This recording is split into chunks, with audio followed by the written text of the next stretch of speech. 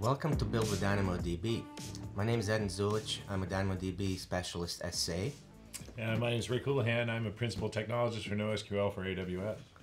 All right, today we're diving into a real world use case of data modeling where we have actually more complex relationships uh, than what we had last time when we did a fairly simple, straightforward schema uh, for, a, for a movie database. Mm-hmm. Also, um, we have our moderators in the chat room who are ready to answer your questions. And some of those questions uh, they'll forward to us so that we can also answer them live. So please send us your questions. Don't be shy. And uh, I think we're ready to sure to roll, right? Oh, there we go. All right, thanks, Hayden. So. Uh, yeah, my name is Rick Houlihan. I, I do a lot of NoSQL work at AWS. I'm sure uh, some of you who are watching the video have seen some of my sessions at uh, reInvent and whatnot. Um, so what we're here talking about today is actually data modeling in NoSQL, and this is uh, and we're gonna just jump right into it. I know this is a series of, uh, of, of, videos that we've done here to kind of dive into various use cases and whatnot. So I'm not gonna explain a lot about what we're talking about. This is the third or third now in the series, or fourth this was uh, show number five. I show believe. number five. Four All right, five, there we five. go. So, yeah. uh, so go back in time and watch the other ones if you want to know a little bit more about what we're talking about. But this is uh, what we're going to talk about today is a service. It's called the Collection Rights Database Service. Uh, it's an internal service at uh, Amazon uh, that we use to. Uh, uh, help our Kindle customers understand what uh, collections and, and items within those collections they actually have rights to. Uh, so if you look at the service here, it's very specific uh, set of access patterns that we run against this. As with all NoSQL databases, when we understand the access patterns, we have a better time uh, modeling the data. And so this is a really good example of a service like that. So what do they do with the uh, with the collection rights database? Again, they track the user rights to objects and collections. They want to authorize uh, the access to digital media, and they support the use the use of a recommendation engine. Right. So when users go to check out and they want to see what other items they might be interested in, we'll consult the collection rights database to see what items and collections users actually have. Uh, so this is what that entity model looks like uh, real shortly. In the lower left there, we have uh, customers, customers own collections. Uh, collections can be owned by many customers, obviously, and customers can own many collections. There's a many-to-many relationship between those uh, two entities. And then collections have items, uh, so there's a one-to-many relationship between items, but customers can also own items. They, they don't necessarily own the whole collection of items. They might own just a few of the items in a particular collection. So there's a many-to-many between customers and items, and there's a one to many between collections and items. So an interesting kind of hierarchical model there. If you look at the access patterns, they're pretty straightforward. For a given customer, we want to get all of the owned items for uh, a given collection. And then we want to get those items that are sorted in a couple of dimensions. Uh, one is by acquisition time. So when we customer goes to checkout, we want to know what was the most recently purchased item across all collections. So maybe when we do to fill out a recommendation, say, hey, you might also be interested in, uh, or you know, knowing that maybe they haven't visited or, or, seen the collection since maybe new items were added right. or whatnot, right? Uh, and then the latest read time, so we can see not only when the customer actually uh, last acquired an item within that collection, but also when they last touched an item within that collection. So that's an interesting access pattern. Mm-hmm. So we're going to want to sort the customers' uh, uh, uh, items and collections by latest read time and then also uh, sorted by uh, the position of the items, right? So you know, mm-hmm. uh, and if you think of a, a collection of items, might be a series, and you might have volume one, volume two, volume three. So these items have you know positions also mm-hmm. as well. So they want to get these uh, collections sorted by position, and uh, then we want to also get all the owned collections for a given user in pages. So it's interesting when we look across our user base because some users have you know potentially thousands of collections right we have like uh, you know companies that or libraries for example that have a library account that might have you know large numbers of collections and other other uh, customers that have very small number of collections and again we want those collections sorted by acquisition time and by read time so mm-hmm. we want to know which uh, which which uh, collections customers have been reading when and when they most recently read those collections right right, right. so um, and, and again, obviously, we're dealing with relationships, and uh, it's just kind of curious what was the main reason why they decided to go with DynamoDB for this? Oh yeah, so again, the this was a this is what we call a tier one service inside of Amazon, and uh, Amazon uh, had a, a project recently to migrate all of our relational workloads to NoSQL technologies, and our tier one services are the ones that are actually revenue generators, right? So when a When a service is making money for Amazon, we, we classify that service as a tier one service. We have 350 some odd tier one services, and every one of those services was mandated to migrate to NoSQL technologies for many reasons, uh, mostly because of scale. Right, uh, right. And if you think about the Kindle service as one of our fairly uh, well scaled out services. This is, a, a, this is an example of one of these services that was starting to push the edge of the limits of what a relational database could provide. Mm-hmm. So uh, we ended up uh, looking at the primary driver for this was scale. Yeah, yeah.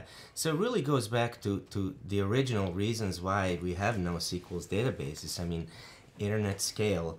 And what we mean by internet scale is just not, not just the number of users, but it's also uh, potentially number of concurrent connections, number of Oh, concurrent absolutely. users, Yeah. and, and so velocity on. of access, right? And I mean, velocity of uh, access, Yeah, right. and that's really what we get into when we talk about these access patterns. What we're talking about now is the shape of these patterns.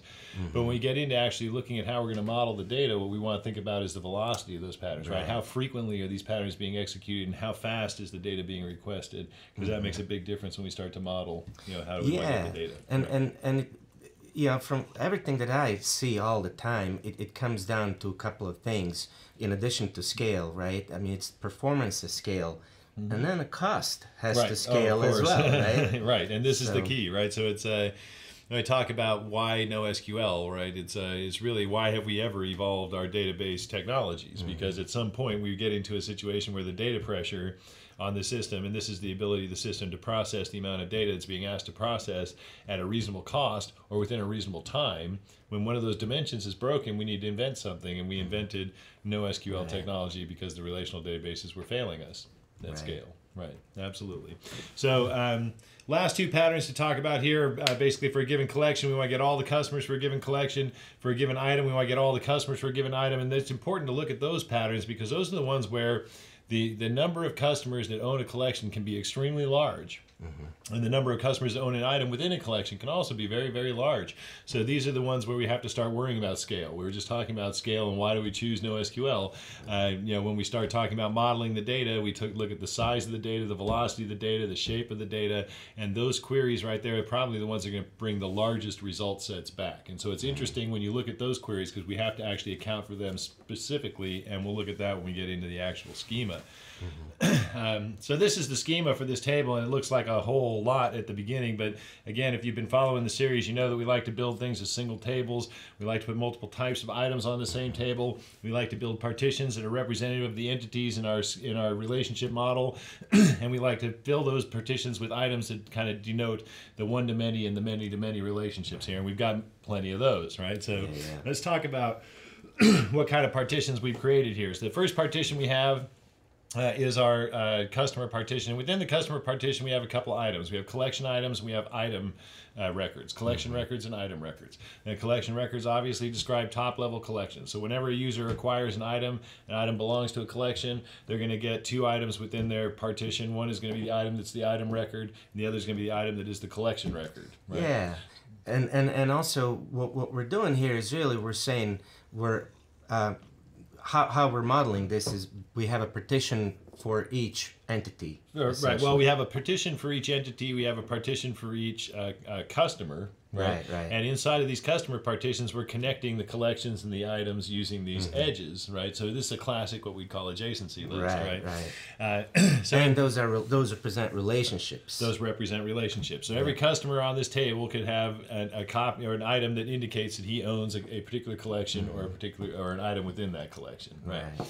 So again, our access patterns were get me all the uh, uh, items the customer owns. In this particular case, starts with IR, which is the item record prefix that we determined for this particular table.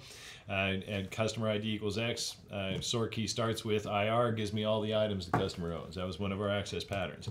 Uh, get me all the collections. Similarly, give me the, uh, it starts with the CR on the sort key, brings back all the collection items.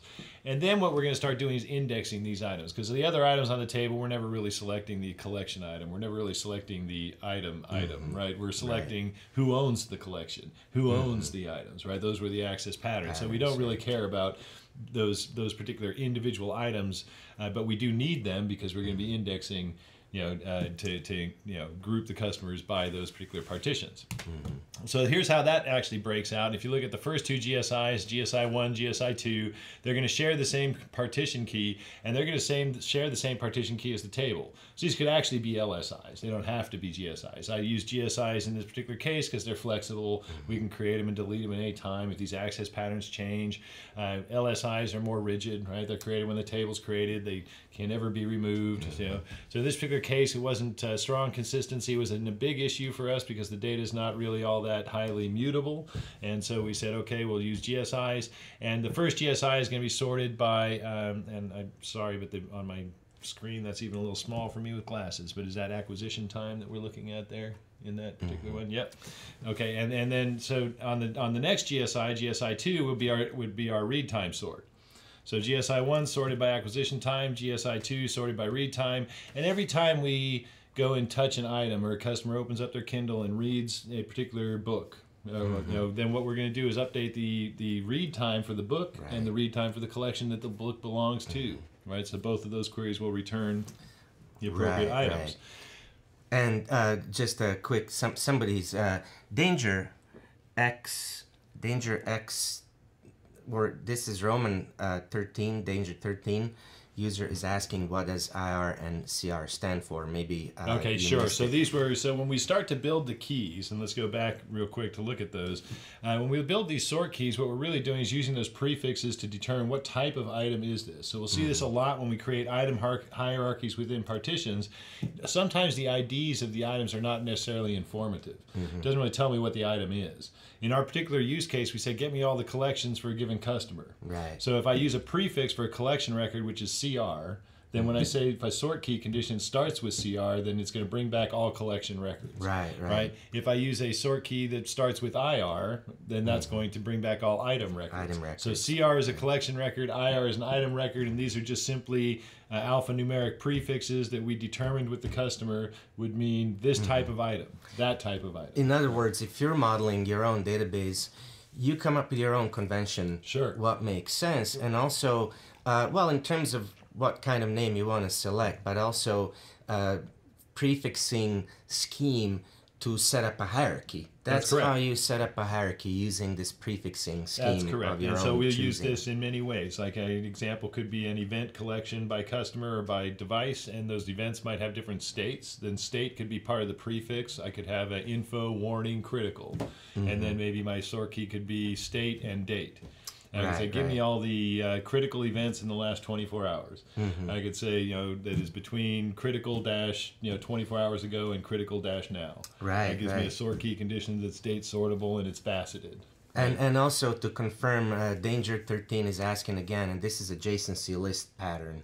Mm-hmm. Um, yes, so what, what we're talking about here is adjacency list. Yeah, pattern. these items are actually mm-hmm. designated. There's a connection to the you know when a when a customer buys an item or, or or establishes ownership of part of a collection, then there will be an item created within their partition that describes how that connection right. and what you know what that connection is.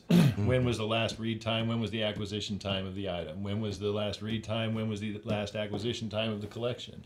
Right. right? Those are all edges. Those are properties of the edge. Right. How is the yeah, customer yeah. related to the collection? How is the customer related to the item? Exactly. Right? So yes. one one way that, that I use to distinguish what's the entity specific? Obviously there, there, there's data here about each entity for example customer that does not involve any other entities. Sure. And that's and that's entity specific. But once you have data um, in, in a record that, that in fact references that says something about another entity mm-hmm. and in this case it'll in fact reference somehow a different entity that's a relationship and that's the edge in the that is the, the, edge in this case right a relationship is really an edge that connects yeah. two partitions two nodes on the graph in some way and mm-hmm. so if you look at the different types of nodes that we have created or different types of partitions we have a customer partition we have collection partitions we have item partitions mm-hmm.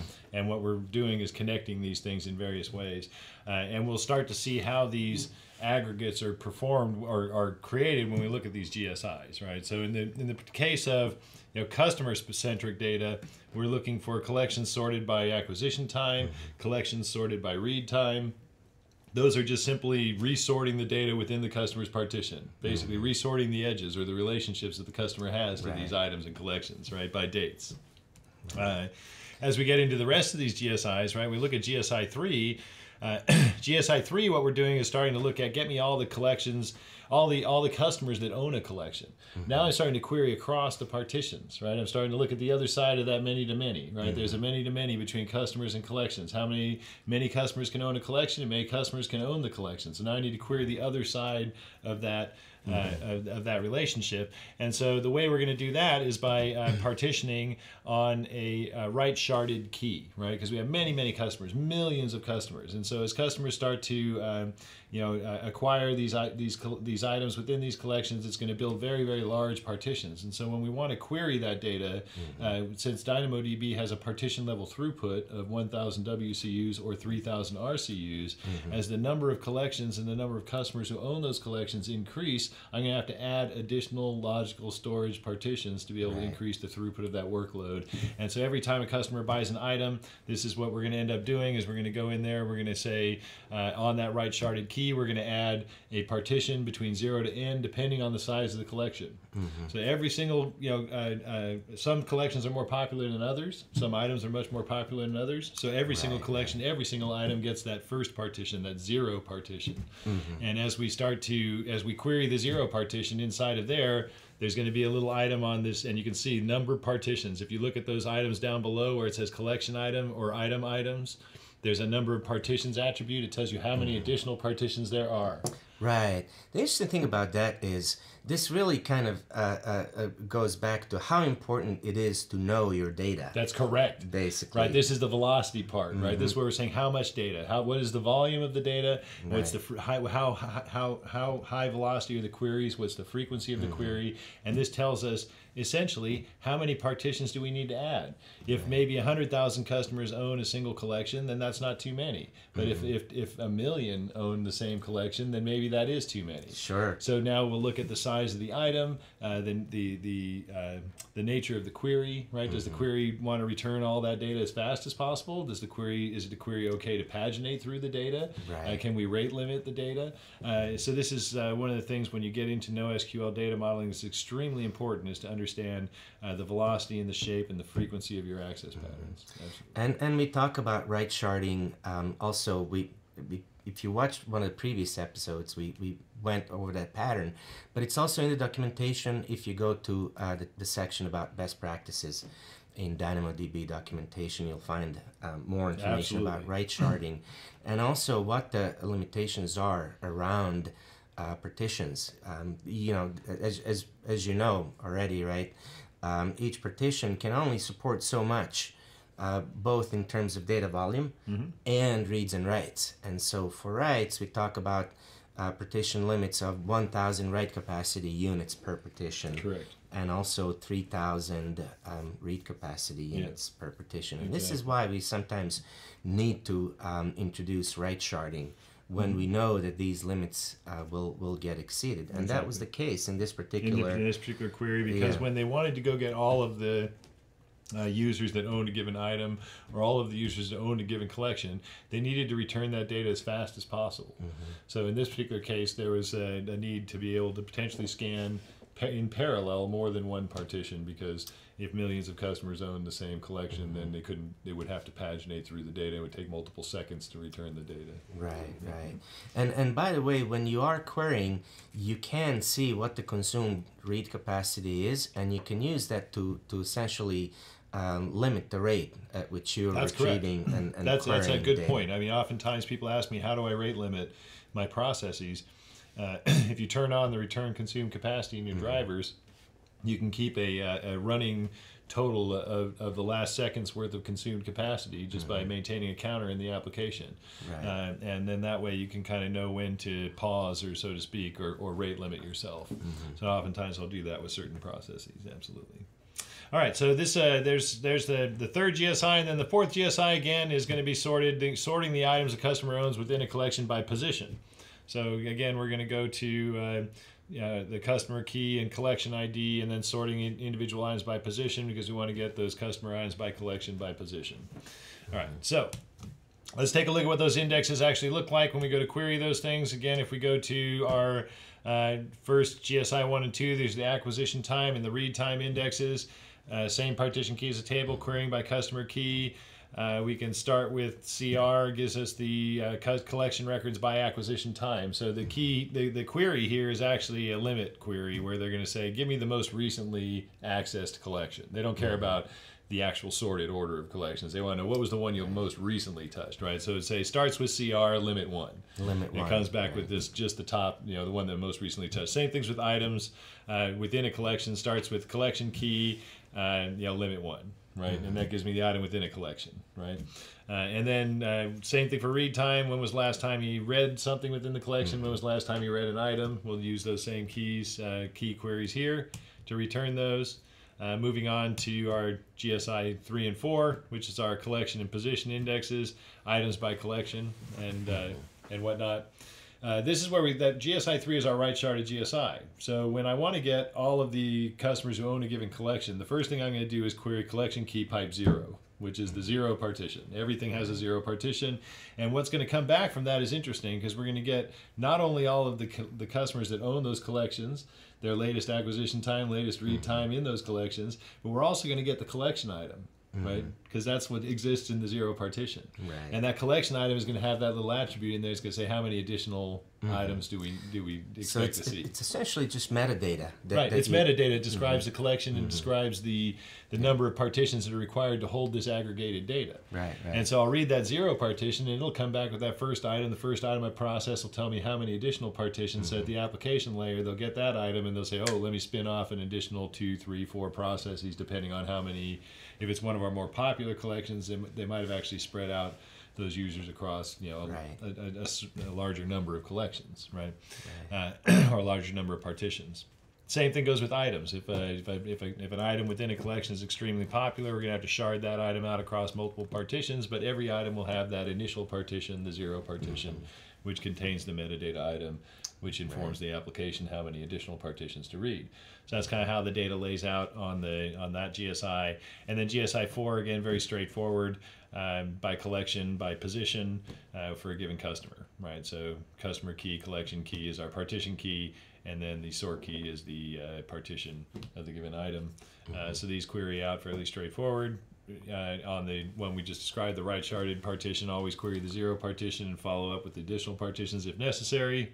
Mm-hmm. Same thing for items. And and then the attributes that we have, um, in in fact, in these GSIs are, are essentially attributes that we need to have for the given view right. of, of, the application. Right. Yeah, if some of these, uh, and these items are actually partial views. This schema is partial views. There's extended attributes on all these mm-hmm. items that it's irrelevant to the query, so I'm not showing those in this actual schema. Right, these right. items are a little larger than what we're seeing here.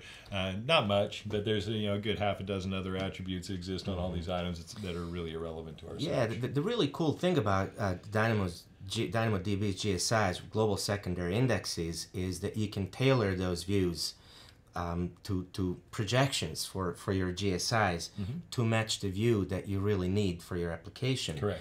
And each view, though, each projection or each GSI, I should say, also will always have the primary key from the table projected. Yes. And so sometimes you need that. Right. Yeah. Sometimes you need that. Mm-hmm. Absolutely. And and you can choose to project some or all of the attributes from your other uh, from the primary table into the GSI. So it's a good point because sometimes the items that you're storing on the table are relatively large, mm-hmm. but the access pattern that I need to go look up against doesn't need all of the data in that item. Right.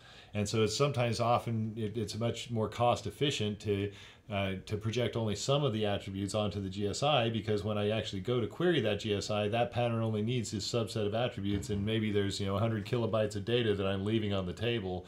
That's WCU cost, that's RCU cost, that's storage cost, and that's doubling all that mm-hmm. cost if I if I project everything to the GSI. Whereas if I maybe carve out the big data and leave that sitting on the table, mm-hmm. then the, what sits on the index is a subset of that data. It's going to cost me less to store. It's going to cost me less to query.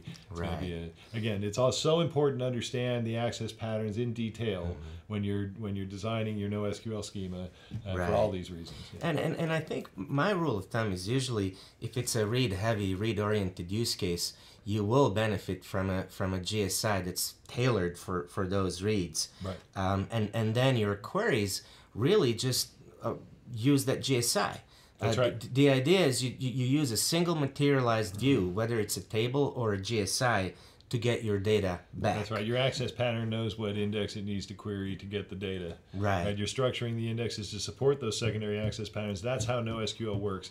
It's actually, uh, you know, it works most efficiently uh, when when the when the when the developer decides which table, which index to query. Absolutely. Right.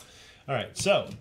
Uh, let's get back to the uh, the mapping of our data and our access patterns to our query uh, patterns here. This is what we end up with at the end of every phase. So if you kind of, if you're, those of you who've been watching our series here, understand that we have a pretty straightforward process to how we develop NoSQL applications, right? We're gonna, you know, we're gonna uh, uh, define the entity relationship model. We're gonna identify the access patterns. We're gonna characterize those patterns. Then we're gonna denormalize the, the model to, mm-hmm. to support those access patterns. And in the end, what we're gonna do is line up the queries to each individual pattern. So this is what we've done. We had, you know, we described an entity relationship model. We gave you a table of access patterns. We're going to extend the table and tell you, okay, now which table or GSI are we going to queries to support this pattern? Uh, which sort key conditions uh, or which partition or primary key uh, uh, conditions between the partition key and the sort key? If there's any extended filter conditions in this particular use case, there were no filter conditions. Had many use cases where we end up applying filter conditions. Uh, and as a matter of fact, I think in our next example that I'm going to be here for, we'll talk a little bit about that. Right mm-hmm. when when filter conditions are just as effective as selective uh, uh, indexes and why filter conditions can save you a lot of money, even though the reads can be fatter. So, but in this particular case, what we have is uh, a collection of our access patterns for a given customer. Get me all the collections sorted on these dimensions. Uh, given given all the owned items sorted on these dimensions, and then again for a given collection, all the customers. Give me a, for a given item all the customers, and that's the on the right two columns. Those are the tables and the and the query conditions that we're going to execute to satisfy each one of those queries. And this is how we know in the end that we have addressed every single one of the access patterns. And, and if you want to know where do you get the access patterns, these access patterns are really uh, they're distilled from the user stories, which which make up the requirements of your application, right? right so right. each one of your user stories is going to tell you how how you're going to be accessing the data. Each one of those things defines the access patterns against the data, I can go through every one of the user stories that we've accepted for a given, uh, you know, sprint, a given, uh, you know, version of the product, and and define this exact table mm-hmm. to show the team exactly how they're going to be using their data. It's extremely effective uh, process and a good tool to do that. Right. All right. And and in this case, we we have three uh, distinct GSIs. Correct. And four. these days, four. Is that yeah. right? Yeah, oh, this particular four. Yeah, yeah, yeah. And so um, you know, it used to be that you could only have five. Right. Um, now that limit has been raised to 20 for, right. yeah, for yeah, a single yeah, sure, table. Sure. So you can really go uh, beyond uh, just a few GSIs and keep creating new materialized views right. maybe new requirements. That may be that's also true. Uh, but if you look come. at the schema, we actually overloaded these GSIs. And that was, right? yeah, yeah, exactly. So like GSI yeah. three is used for multiple access patterns, right? right. Uh, GSIs one and two are used for singles uh, for multiple access patterns as well. Because again, both the collection and the items mm-hmm. are being indexed uh, by acquisition time and by read time. Right, right. right. And, and we're reusing the acquisition time GSI and the read time GSI for both collections and items. Right. So there's two overloaded patterns on each one of those. If we were to index those ind- individually, that would be four GSIs instead of two. Right. Same thing for this GSI three. That could be another two GSIs. So mm-hmm. if we had if we had instead of using GSI overloading, mm-hmm. right, if we had just gone ahead and indexed the actual fully named attributes that are associated to collections and and, and whatnot right. and items, we would have ended up with uh, seven GSIs on this yeah. project. So we reduced GSIs by three using overloading. Right, right, and and that's really the, the, one one of the advantages of flexible schema with with NoSQL. Um, and and you know what's funny when when we talk with people who are used to relational databases and strict yeah, you know enforcement schema and so so on. Uh, you know, for them it's unusual and almost seems kind of hacky right. to be using these conventions that are all but that's really the, the, the nature of NoSQL. It's right. the flexibility that you get and and it really allows you to um, control different access patterns in your application Correct. rather than in the database itself. Right. That's, well, it's a it's a thing to understand is that uh, you know with with relational databases we're used to tables that have homogeneous you know collections of items.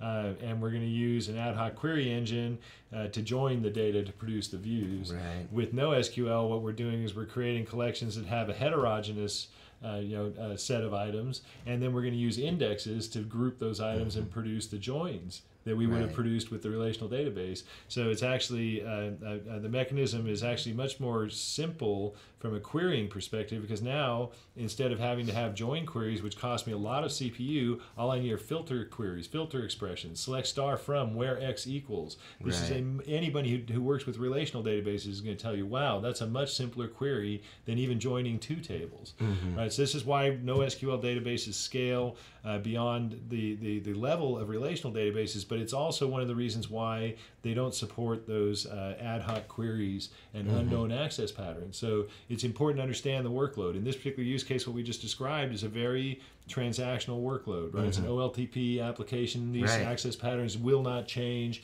uh, and they're always going to execute the exact same way. Mm-hmm. So we can build a data structure that services that. But if somebody comes along tomorrow and says, "Hey, you know, I got a I got a totally new pattern against this data, and I don't want to do those patterns anymore," mm-hmm. now all of a sudden we're broken, right? right, right so it's important to understand the nature of your application, the nature of the access patterns, and in detail. Mm-hmm. Now, one last thing to talk about with this schema as we just talked about we had uh, you know we got four gsis we're sorting on uh, multiple dimensions. So how could it possibly be better than what we just did right? I mean mm-hmm. i just mm-hmm. i just showed you with overloading we went from seven gsis to, to four uh, and so how might we be able to do this better? And and this this is something we actually as we went through this iterative process this is the other thing we talk about when you're developing a nosql uh, data model. It's not a you know uh, lowest common denominator and we're done. It's an iterative process. Right. And so one of the things we did to optimize this model in discussion was to come back and say, hey, look, uh, the primary table was using a full, you know, the composite key for items on the primary table was using the item ID, mm-hmm. and we had a use case that says get me items sorted by position. Well, position is unique within a collection, so I don't necessarily need to use item ID to define uniqueness. I can actually mm-hmm. use position. position. So when we define the item that is owned, when we add when it, when a customer buys the item and establishes the edge that connects them to the item, mm-hmm. instead of using the item ID in the sort key, I use the item's position. Item's position. And that eliminates GSI four because now when I say select star from table where customer ID equals X starts with IR, guess mm-hmm. what? All the items come back in sorted order by collection. Right. Right. And that's that's another thing about sort keys, right? I'll right. always uh, basically give you the ability to to uh, group your data the way the way you want, the, right. the way you exactly want. That's exactly yeah. right. And mm-hmm. in this particular case, we, you know, we went now we went from four GSIs to three GSIs. Mm-hmm. That's huge because again, less WCU, less uh, storage cost, right? I mean, the RCUs are the same because we're hitting the data from the table instead of the GSI, but right. I don't have to do, I don't have to replicate the data and pay for twice yeah. the storage and twice the WCU. And, and, while this might not matter early on in, in, in your basically application or business when you're not scaled out, once you start scaling out, these all these things add up. Oh, they scale. do. Oh, so. and, and, tremendously so, right? I right. mean, this is these can be enormous costs. I mean, if you think about it, if I have a table provisioned at 100,000 WCUs, uh, and and I put a GSI up on that table, and you know, 90% of those items, or even 100% of those items, translate to the GSI. What have right. I done? Now I need a GSI at 100,000 WCUs. Mm-hmm. That's a big GSI. That's a lot of workload. If I can sat- use the same table to satisfy multiple access patterns, in this case, get me all the items a customer owns, and get right. me all the items a customer owns sorted by position use the same data on the same table, I've halved the WCU cost and halved the storage cost. And, and in fact, that kind of um, really touches on, on a question from user K Falk, who says, I'm trying to understand the value of single table design now that transactions are available. In my own design, single table design um, helps me get parent and children in one query, but I might as well make a simultaneous get item for the parent and query for the children. So is it actually just as efficient to just use a separate table for each entity? Am I missing something? Well, so there, there, you just you just answered your own question because you say you know I'd have, isn't it be, it wouldn't it be just as efficient to make two queries instead of one? Mm-hmm. No, Right. right. it's not. It's actually twice mm-hmm. as efficient to use right. one query, right?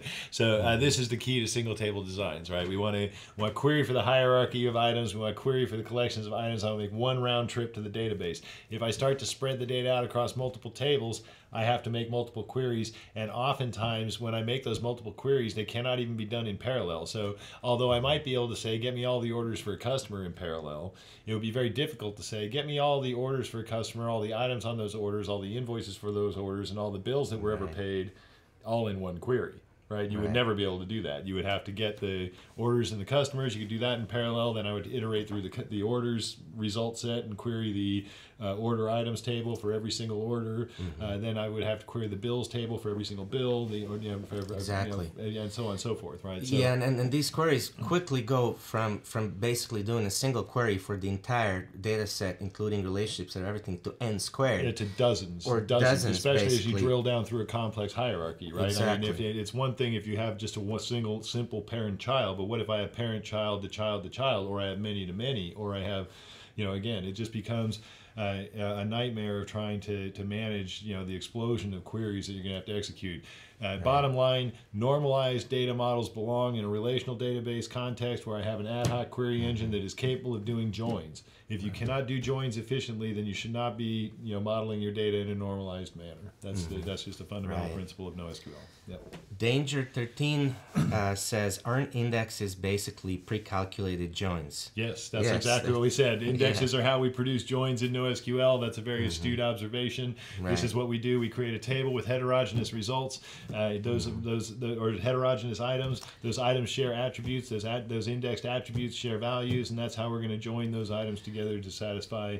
Uh, and you can almost look at the table as your first index. I was right? going to say it's that. an yeah. inverted index, right? Yeah, we create yeah. partitions and we load items into those partitions. What right. they share? They share a partition key attribute that equals X. Right? Exactly. So that, that is the first index in the. In if the, in you're the looking at a many-to-many relationship, one side of that relationship, one view, materialized view, is represented provided by the table itself and the other one by yes. the by the GSI. Right, so. and and you can almost see, and, and this is why fundamentally, this is why uh, the, you know when people start talking about the differences between a document store and a, and a wide column store, mm-hmm. uh, it tells me that they really don't understand NoSQL very well because uh, a document store is an indexed partition key only table, mm-hmm. and they they are the same. Right. Uh, you know, by default, the document store supports a key value access pattern, mm-hmm. which is the document ID. Get me that. And if I want anything else, I add indexes. Yeah. And a partition key table does the exact same thing. Get me the get me thing get me the item that has a partition key of X. Right, the only right. difference between a wide column and a document store is that the wide column store allows you to create a sort key on the table, which turns the table into the first inverted index. And in a document store, I actually have to define mm-hmm. a, an inverted index on the document collection. Right, right. But there, other than that, there's no difference between the two, and the data models are exactly yeah. the same. I mean, at their core, they're they're essentially what we call, if you will, in a, in a theory of no SQL databases. They're both key value. That's correct. Databases. Uh, they are. They right. are absolutely. And and what distinguishes them is just different APIs. That's correct. One focuses on on basically document uh, access patterns, and and the other one basically mm. really focuses on on kind of column based. Well, I would almost or, say or, that the APIs are irrelevant. You know that those that there is no such thing as a document access pattern or a wide column access pattern. That's just the data structure that holds the data. Yeah, yeah, but, the, but, but, the, but, the, but the, the actual query access API that you, well, the query yeah, API, right. you know, granted, there's differences in the query API and the functionality of the query APIs and all this, uh, right. Uh, regardless, but there's a uh, there's certainly a, a, the fundamental data modeling between the two, you know, document store, wide column store, they are exactly the same, and right. I will model the data exactly the same, and, right, and I'll use exactly the same tenants, and we'll use exactly the same process and procedures, and in the end, the shape of the data will be exactly the same. Exactly. Yeah. Yeah. All right. so for more information, uh, we've got obviously online. We have some good stuff for you. The DynamoDB design patterns, best practices. That's part of our documentation. Uh, definitely uh, recommend anyone go search for that. It, we just we we describe in detail all these patterns we talked about. Right. Write sharding, GSI overloading, uh, vertical partitioning. You know all the things we just mentioned in this discussion today are described in detail on the uh, online there and the best practices. And then of course there's the uh, session I did last uh, re:Invent last November on advanced design patterns for DynamoDB. We talk a lot about how we break down this entity relationship model and take that data and move it into uh, a shape and a structure uh, that, that, that, that represents the relationships that you need to support your application's access patterns because again all the data is relational just because it's a NoSQL database doesn't mean we don't have any relational data here. Uh, if it wasn't relational data, we wouldn't care about it.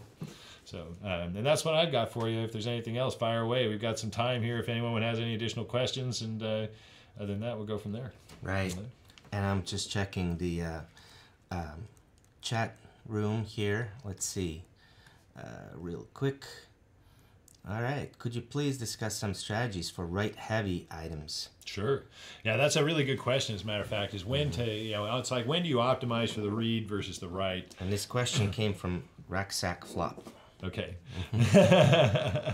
so uh, write sharding is really the um, uh, the strategy of choice for, for high high velocity write workloads, right? So, uh, and then again, they but they, they I'm not sure. If is the question He's, really about high velocity or is it about write heavy? He has he has actually a, a concrete example. Okay. For instance, a post that receives a high volume of upvotes in a short period of time.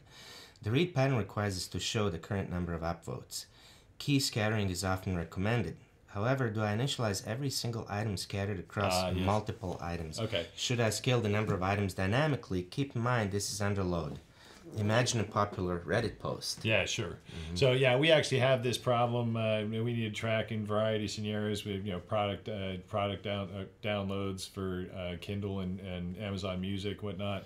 Um, likes or likes and whatnot. Mm-hmm. And so uh, typically, what we're dealing here is a situation where you have a high velocity counter uh, the value of the counter instantaneously and the accuracy of that counter is irrelevant because it's changing at a high frequency. So really, what we want to do is capture a, uh, a read of the counter that is relatively that is relative to the state at the time that the query was made. Okay, right, yeah. and so what we're doing here is uh, I've got some high velocity write pattern on the table every time some uh, an update comes in or a, a, response comes in on a post or a thread, uh, we're going to go ahead and use write sharding on the table to distribute those posts and those around the around a set of partitions to support the workload.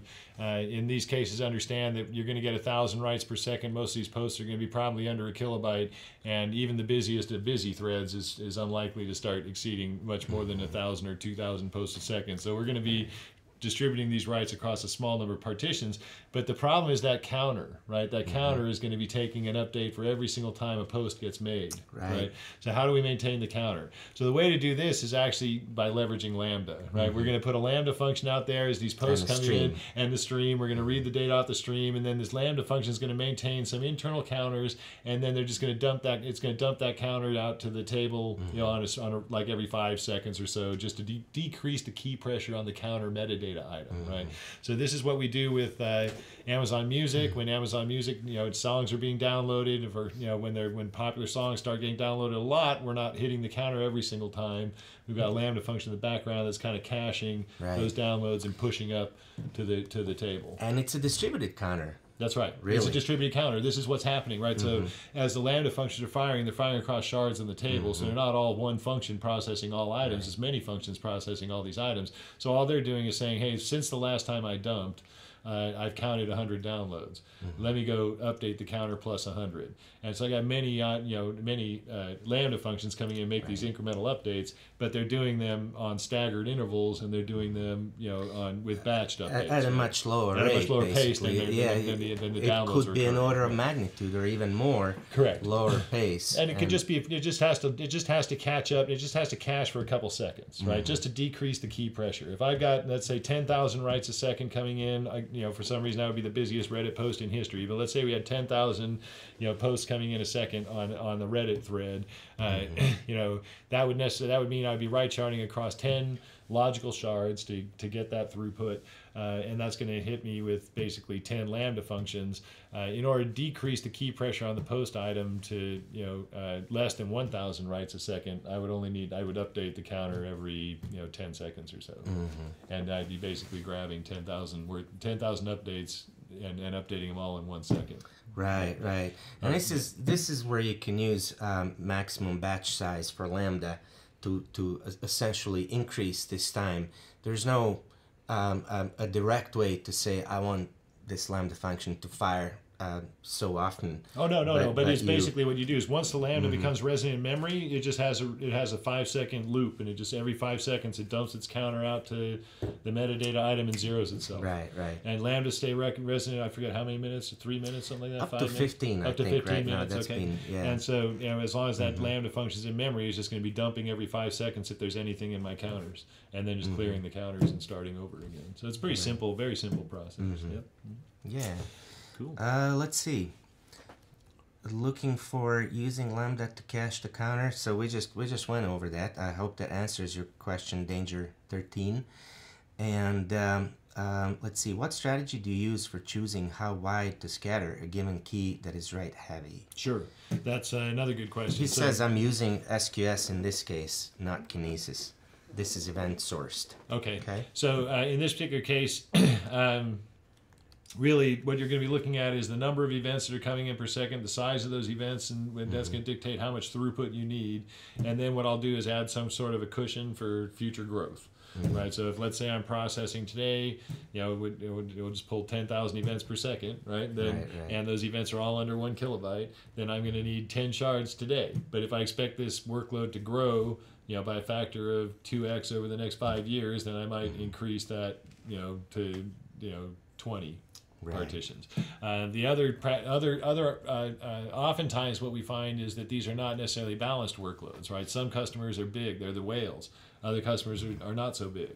And this is like if you look at a lot of AWS services, the way AWS services are configured, they have soft limits. Mm-hmm. Right? Sometimes the soft limits are there because of resource constraints, like infrastructure issues, right? Like if you want more than a million, you know, WCUs on a DynamoDB table, I'm probably going to need to rack some hardware for you. So yeah. we'll have some soft limits on how mm-hmm. much you can provision without coming and talking to me. It's right? kind of just a gate, like right. a checkpoint. It's a checkpoint. Yeah. Other times those soft limits are, are for configuration uh, items, right? Like you know, if we have uh, you know customers might need a certain uh, number of configuration items within a given service. Um, and by default, that'll live within a single partition on their DynamoDB table because most of our AWS services use DynamoDB for the right. configuration data. Uh, but if a customer needs more, and some of our enterprise customers might need more, right? Mm-hmm. Uh, and then they'll say, okay, well, how many would you, how many do you need? And they say, well, okay, we need 10 million configuration items. We say, okay, great. Yeah. For you, Mr. Customer, we will add another five logical partitions to support your workload. And so when the workflow processes fire for this particular customer, they're going to read again that zero partition, like we saw with Cord, right? Mm-hmm. Most yeah, collections, yeah. most collections live in one partition. You know, number of customers that own a given collection is less mm-hmm. than one partition's worth of data. Some things like Lord of the Rings, or yeah, you know, I mean, these are going to be owned get, by hundreds of millions of people, right? So now all of a sudden we need to add, you know, more partitions, right? So and we use application layer configuration data to dictate whether we're reading one or more. In the case of the mm-hmm. Cord service, you saw the zero partition contains a metadata item. In the case of other services, it'll be a top level configuration you know item for the customer account. Right, right. right. Yeah, exactly. A couple of more questions. Sure. A question how to handle um, query patterns that change after the application is released. The question is from uh, K Falk. Do you have any hints for managing complexity of GSI keys when you have a combination of relationship plus filter value plus sure. sort key, it gets exponentially complicated to encode it all in a string and needs sure. many GSIs. Sure. So, um, okay, a couple questions there. Uh, what was the, the first one? Was uh, mm-hmm. what was? Do you have any hints for managing complexity of GSI keys when you have a combination? Or there was something about adding additional access patterns, right? Did you? Know uh, um, yeah, how to handle query patterns that change after okay. the application. So I'll answer that released. one first. So, yeah. so uh, query patterns that change actually after the application is released. So typically what we see, and I see this a lot, is the uh, what we're going to have is new features, right? Mm-hmm. Uh, enhancements to existing features, uh, changing slight tweaks in the access patterns. It's it's it's it's it's rare that you might see somebody say, "Oh yeah, we don't really need that access pattern anymore," right? Mm-hmm. It's going to be more like, "Oh, we need it, but we need to do this instead, or we need it, right. or we need these different patterns." So in this mm-hmm. particular case, what typically ends up happening is as there's usually some sort of ETL involved with the existing data. I might need mm-hmm. to run a process to do a table scan and annotate items of a particular type with additional metadata, to, or right. or tweak the keys in a, in a, in a way to provide different sorts uh, or whatnot. We or might, if it's time limited data, then you can basically just use or we that can age it out, right? It exactly. Out. Yeah. Um, or you know we might be adding new entities into the system. We might add new partitions, and then we might need to find new relationships to these. Mm-hmm.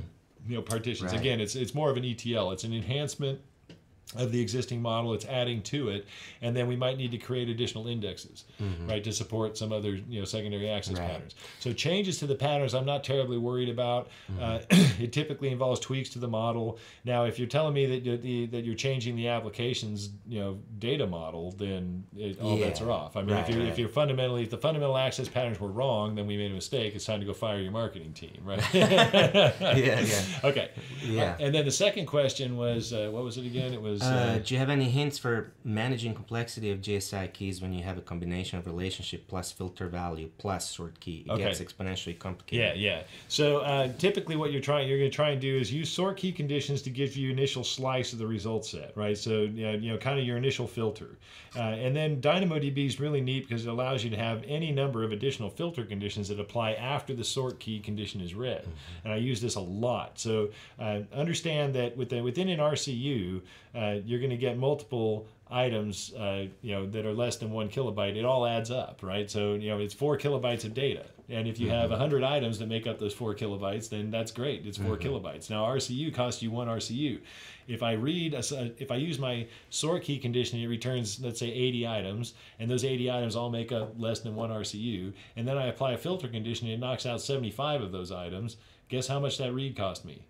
One RCU. yeah, See, yeah. and so we'll use this trick a lot, right? Where it's like my sort key condition is not as selective as it needs to be. It mm-hmm. brings back a much bigger result set than I want.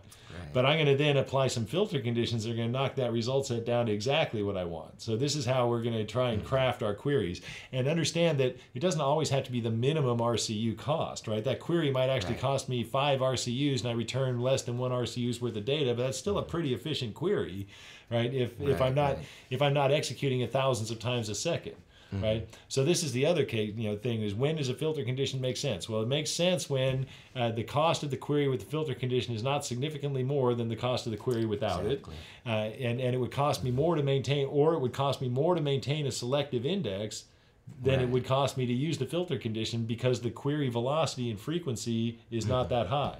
Right. right. So, so these are the trade-offs we're making in NoSQL, right? When do I use filter conditions versus selective sort key? When do I, you know, or, or create a selective GSI, right. right? These are the things that we're going to be analyzing about our application and understanding about our access patterns. That's why we have to understand our access patterns in detail. Right. Yeah. yeah. I saw one question that, that I want to um, bring up. Actually, there's a couple of questions from this user, um, TJagX. The first one is, what are the main differences between Mongo and Dynamo? And, and I will just say MongoDB and DynamoDB. I, I think it's a, it's a great question. Sure. And then he's asking another question that's sort of related. Is Dynamo suitable for high frequency data, for example, sensor data, or um, is that use case better suited for Redshift? Actually, that's not necessarily so related to the first question. that's okay. Anyway. First question: What's the difference between MongoDB and DynamoDB? Uh, for properly modeled data for NoSQL, the answer is nothing. And we just described that. What's the difference between a wide column store and a document store? Right. Uh, from a data modeling perspective, absolutely no difference. Mm-hmm. Uh, from a query API perspective, there's a big difference, right? MongoDB has a wide variety of query operators uh, that allow uh, kind of, I guess you'd say, what a lot of people kind of refer to as the missing ad hoc query engine mm-hmm. for NoSQL. Um, and to this, I'll respond that I spent a year or more, a little bit over a year at MongoDB, and uh, I spent a lot of time unwinding a lot of those aggregation framework queries because the problem with those is it's the same problem the relational database has. Joining data is expensive ad hoc queries are expensive. Right. If you're trying to use the CPU to churn through volumes and volumes of data to produce computed aggregates and result sets and whatnot, then you're going to be burning your system alive, and that's what happens when you run aggregation queries. So it's one of the key obstacles to the ability to scale. Absolutely, and, and it's one of the biggest problems MongoDB users have mm-hmm. when I, especially at scale, when you when you start to bring the you know when you when you're running out there with a small workload that's never really pushing the limits of the system, you're never going to notice that the, that you have these problems. Mm-hmm. When customers scale, typically that's when I get involved because they start to experience problems, and so they're like, well maybe DynamoDB is the answer. So we'll go talk to them about what they're doing, and most of the time, 90% of the time, what I do is I'll muck with their data model, I'll tweak mm-hmm. their things, and we'll get them running, and they don't have to change anything other than how they're accessing their data, and they'll right. stay. They're just fine. They stay on their MongoDB cluster, and you know they won't ever scale to the point where they start feeling more pain. Yeah. Now there is a scale point with MongoDB, with Cassandra, with every off-the-shelf NoSQL database that you're going to start feeling scale pain. Mm-hmm. That's when you're going to talk to me about cloud native solutions, right?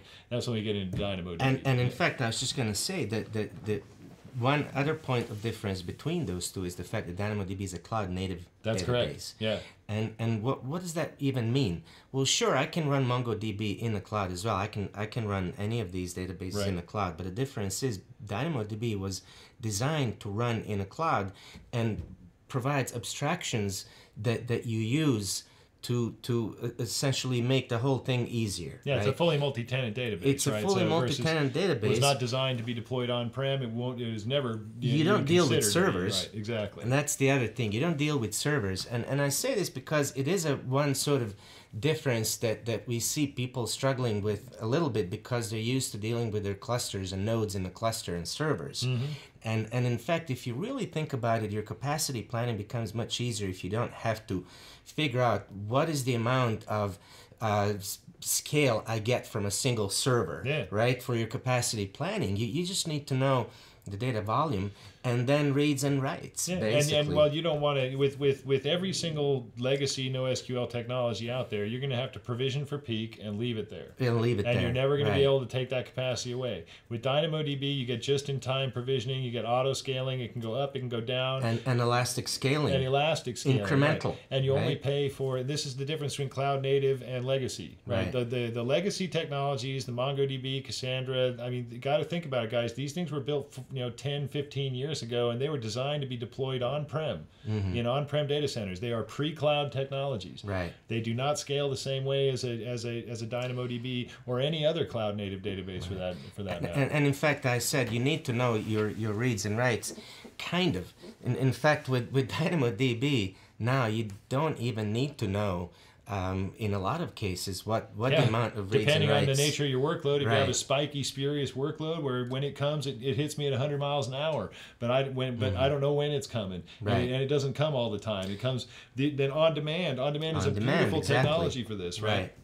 Uh, yeah. So anyways, so. so, one one question from the same user um, was about um, when to use um, Redshift versus so TJAX is Dynamo suitable for high frequency data, sensor data, or is that better suited? Yeah, uh, no, absolutely. Redshift? So no, I mean Redshift. I mean that's a data warehousing solution. It's great, scales to mm-hmm. you know uh, petabyte scale. Uh, DynamoDB is certainly suitable for your high frequency sensor data. And again, depends on the access pattern, right? So uh, Redshift is going to provide dimensional ad hoc queries, right? You're going to get a dimensional snow, uh, stars or snowflake schema where you're going to be able to run some, you know, uh, level of ad hoc queries. Uh, DynamoDB is not going to support those types of ad hoc queries. If you have an OLTP workload running against your sensor data, absolutely. And we have mm-hmm. IoT workloads that use DynamoDB that are scaling beyond anything I've ever seen from any right. other NoSQL database. I literally, I think I, I last I heard, our fastest table is going is over seven million transactions per second. Yeah, a, a lot of times it's not either even a question of either or because a oh, that's true too. that's true. Both, that's right? right? That's true. The decision support systems and the workloads that run against those are different than the workloads that run against your NoSQL database. I might need that right. sensor data online for my OLTP workloads. Mm-hmm. I might need it in a factory where it can be queried more ad hoc right, right, exactly. So, so for your essentially real-time needs, OLTP, right, uh, decision support views, you'd be using DynamoDB, but then you you, you use Redshift for analytics. Um, That's right. And, and possibly use DynamoDB streams to essentially stream data from. Dynamo to or, or, or, or, copy table or right. you know data pipeline or a variety of other technologies as well. Right. So we're running up on the end of the hour here. That's so right. I think we're gonna have to wrap it up. Thanks mm-hmm. a lot for all the questions, and we'll see you next time. All right. Thanks, Edin. Thank you. Man, that was good. That was good. Yeah.